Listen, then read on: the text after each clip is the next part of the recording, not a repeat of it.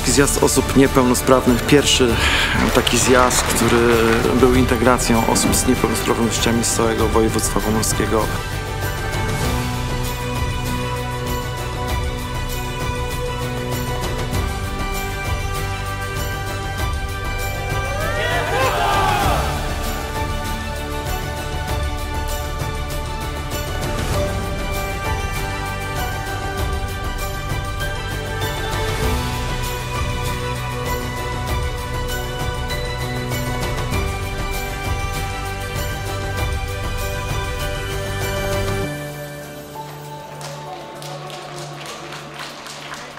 Sala pusta już, my zmęczeni, jest cisza, błoga, ale przed chwileczką natętniła życiem koncerty, spotkania, projekcje filmu, ale emocje, które tutaj panowały, tego nie da się opisać. Znaczy to trzeba poczuć, to trzeba być tutaj wśród tych uczestników. To nas jeszcze bardziej motywuje do tego, żebyśmy za rok spotkali się podczas już drugiego pomorskiego zjazdu osób z niepełnosprawnością.